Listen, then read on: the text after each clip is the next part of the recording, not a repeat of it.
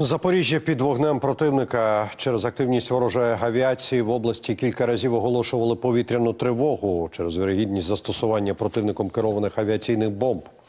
Останніми тижнями ворог неодноразово атакував ними регіон та обласний центр.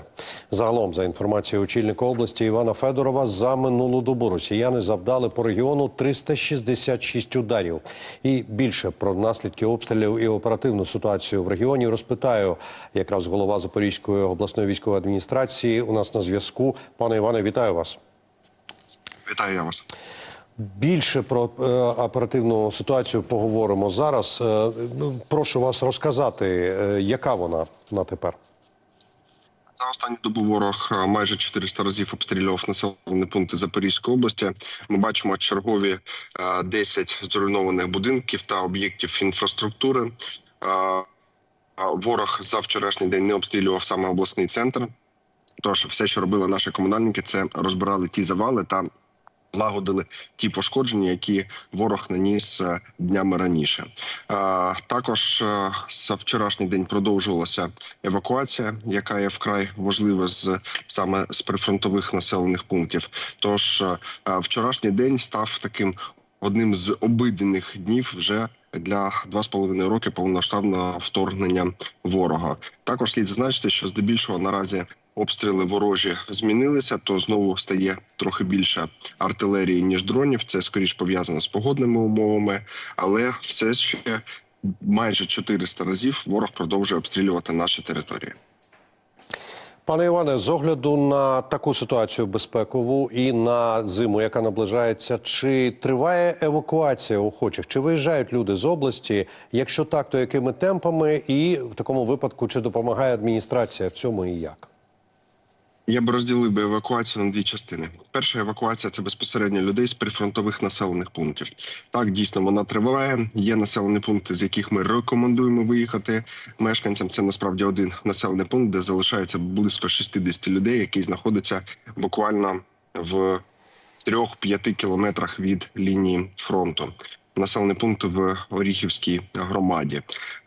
Звідти потроху по одної, по дві людини евакуаційні групи національної поліції разом з волонтерами, разом з рятувальниками вивозять мешканців, які погоджуються звідти виїжджати. Евакуювали ще більш ніж півроку тому. А що стосується евакуації безпосередньо з території міст. Запоріжжя та більш безпечних населених пунктів Запорізької області, то немає на сьогоднішній день масової евакуації е, і масово охочих евакуюватись також немає. З іншого боку, ми готові забезпечувати її. Е, Є два потяги безпошкотовних потяги, які щодня. Вирушають е, з е, станції Запорізького вокзалу. Один з них йде до е, міста Львова, другий до них йде до Хмельницького, і також ця безкоштовна евакуація може здійснюватись. Хоча ми бачимо, що ажіотажу наразі на ці потяги немає. Але всі охочі евакуюватися як з прифронтової лінії, з прифронтових населених пунктів, так і безпосередньо Запорізької області мають таку можливість і можуть розраховувати звичайно ж на допомогу. А хочу вас запитати, як триває будівництво підземних шкіл? Це проект, до якого прикуто багато поглядів. Чи вдається дотримуватися заявлених темпів будівництва? З якими можливо викликами доводиться стикатися в процесі? Днями ми розпочали будівництво дев'ятої школи, яка знаходиться в одному з е, густонаселених е, районів, е, саме районів, де знаходиться велика кількість промислових підприємств. І також будівництво на тих школах, які розпочали раніше наприкінці весни, на початку літа. Ми е, бачимо, що вже протягом місяця в першій школі ми зможемо розпочати освітній процес. А ще вісім шкіл до кінця року мають бути в завершальній стадії готовності. Тож ми розраховуємо, що додатково до офлайн навчання до нових підземних шкіл вийде приблизно 6 тисяч мешканців. Школи будуються не лише на території міста Запоріжжя, також будуються на території Широківської громади, будуються на території Кушогумської громади, і вже розпочато будівництво на території Михайлівської громади. Це наша задача забезпечити населення як обласного центру, так і менших об'єднаних територіальних громад доступом до безпечного освітнього процесу. Тож е, я сподіваюся, що до кінця року все заплановано. Ми встигнемо, і погода нам дозволять, і кількість будівельників на об'єктів буде достатньою. Тож ми плануємо завершити все вчасно. А вчасно це коли? Коли відкриються перші з таких шкіл? Першу школу ми розраховуємо відкрити протягом одного місяця. Тож середина листопада має вже запрацювати перша школа. Пане Іване, минулого тижня 17-й, наскільки я пам'ятаю, військовим частинам було передано допомогу від області на загальну суму 41,5 мільйонів гривень.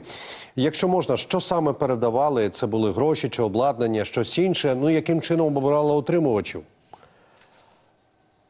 В нас сьогодні налагоджена повністю системна робота з тими бригадами і тими військовими організмами, які несуть свою службу на запорізькому напрямку, здебільшого на запорізькому напрямку. Звичайно, наша основна мета це підтримувати наших героїчних військових для того, щоб вони боронили кордони нашої області.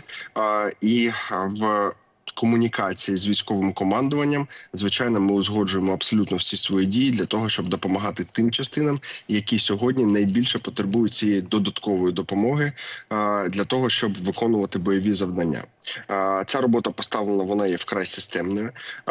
Тож сьогодні всі е, об'єднані територіальні громади до оборонного бюджету області надіслали більш ніж е, 2 мільярди гривень. Саме ці кошти ми направляємо на допомогу армії. Що саме чим саме допомагаємо? Тож е, сьогодні декілька. Так званих програм в нас працює, які є пріоритетними. Перше це підготовка до зими. То ми готуємо військові підрозділи, допомагаємо готуватись військовим підрозділом, а саме додаткові акумуляторні батареї до їхніх а, а, дронів, додаткові зарядні станції, додаткові обігрівачі. Це те, що вкрай необхідно буде для військових. Військовослужбовців під час настання холодів, також розвідувальні дрони.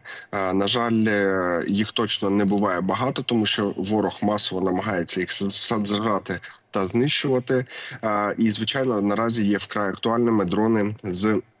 Тепловізійним баченням також ми розуміємо, що є такий розхідний матеріал, як автівки, пікапи. То також регулярно поновлюємо наші військові частини. І звичайно продовжується найактуальнішими це ребами, ремонтом військової техніки. Все це а, на системній основі в нас працює в частині комунікації з нашими військовими для того, щоб допомагати і робити легше виконання складних бойових задач. Пане Іване, я вам дуже дякую за ваш час і за цю розмову. Звісно, за вашу роботу. Це Іван Федоров, голова Запорізької обласної військової адміністрації, був у нас на зв'язку. За можливості гарного дня вам. Дякую на це.